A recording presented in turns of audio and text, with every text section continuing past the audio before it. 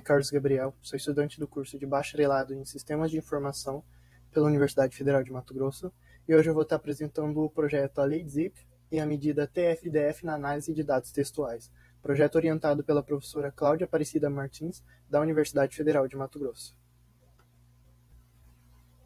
Processamento de linguagem natural é um ramo da inteligência artificial que busca combinar a computação e a linguística, visando extrair informações e auxiliar o computador a processar e conseguir interpretar a linguagem humana. Portanto, ela utiliza diversas ferramentas para realizar a compreensão dos dados textuais.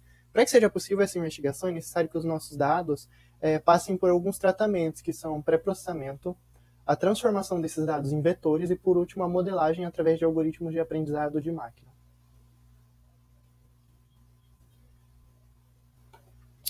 O objetivo desse trabalho é analisar os atributos do conjunto de dados utilizando técnicas baseadas na relação da lei ZIPF e da medida TFDF, com o objetivo de selecionar os atributos mais relevantes na discriminação das classes, visando melhorar o desempenho dos classificadores no domínio de textos de patente. O conjunto de dados utilizados nesse projeto é o conjunto de dados de patentes. Mas o que são patentes? Patentes são títulos de propriedade temporária de uma invenção dada pelo Estado para os inventores, que podem ser pessoas físicas ou jurídicas. Aqui ao lado nós temos um relatório de 2018 dos países que mais tiveram invenções patenteadas neste mesmo ano de 2018. Em primeiro lugar nós vemos os Estados Unidos, depois a China, o Japão, a Coreia do Sul e por, por último a Alemanha. Segundo Zip, existe uma relação entre a frequência e a posição da palavra no ranking. Assim, ele criou uma lei que segue a seguinte linha de raciocínio. A primeira palavra mais comum em um texto ocorre duas vezes mais que a segunda, a terceira ocorre duas vezes mais que a quarta, a quarta ocorre duas vezes mais que a quinta, formando assim uma relação de frequência.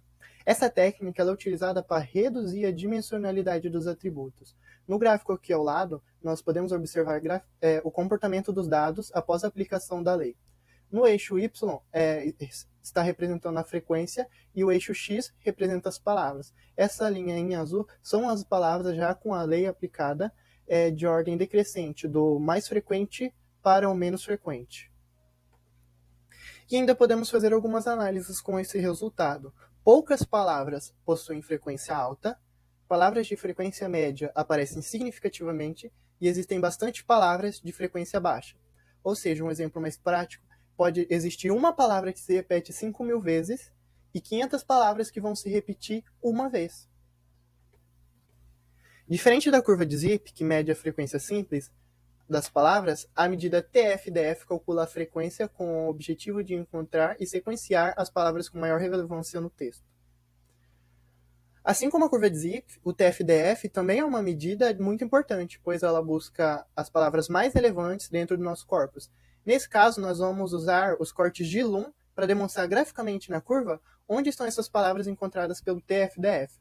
Portanto, aqui nós temos o gráfico. As palavras mais importantes encontradas pelo TF-DF estão dentro desses cortes verde e laranjado, chamado de corte de Lum. Portanto, aqui nessa linha azul, que inicia aqui e termina aqui, estão as, as palavras mais importantes encontradas pelo TF-DF.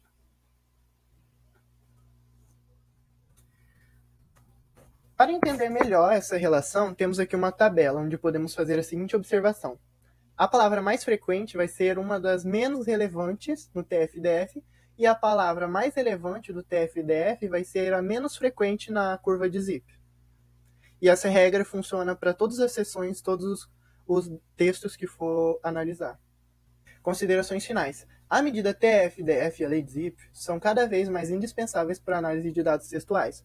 Os resultados comprovam sua eficiência, permitindo obter um melhor desempenho. Portanto, neste trabalho, as duas técnicas estão sendo utilizadas em documentos de patentes, visando auxiliar no processo de classificação de documentos e na criação de um dicionário das palavras mais discriminantes para cada uma das classes.